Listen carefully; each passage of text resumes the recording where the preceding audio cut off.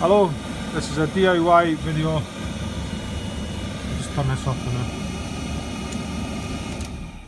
Right, this is a Worcester uh, Heat Slave 2025, uh, which is an oil burning boiler. And I'm just a DIY guy. Well, basically we let our oil tank uh, go dry. So uh, we had to, I had to re-bleed it because it wouldn't work. So I was looking for the bleed point. So this thing here is the lockout switch. There that goes red when it, it locks out and then this light here says lockout. That comes on when it's not working. Right. And what I needed to do was to get the air out of the system between the tank and the boiler. And if you look at this what the torch is looking at here, this the small pipe going in to the nut, well just above that nut on the block there's a little there's a little nut. That's your bleed nut right there the torch on so you just get a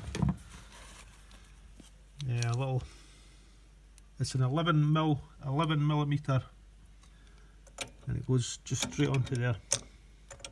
Straight on there. Like that right? Then you just undo it and you press the lockout switch you undo it and then you see a lot of uh, heating oil coming out and it's full of bubbles. And you just keep doing that. You keep pressing the lockout switch which resets itself.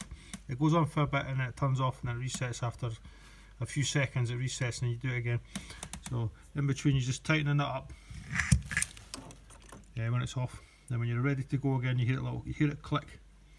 And then you undo it again and you'll see the air coming out just undo that little nut there. And you see air coming out. And then once the air's out of it you've bled the system you you tighten it back up tight.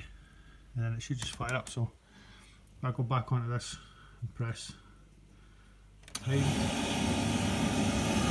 starting up it should fire up now. You should hear it firing up. And that'll be the fuel going in. You hear it firing up. You hear that, that fired up right there. Boom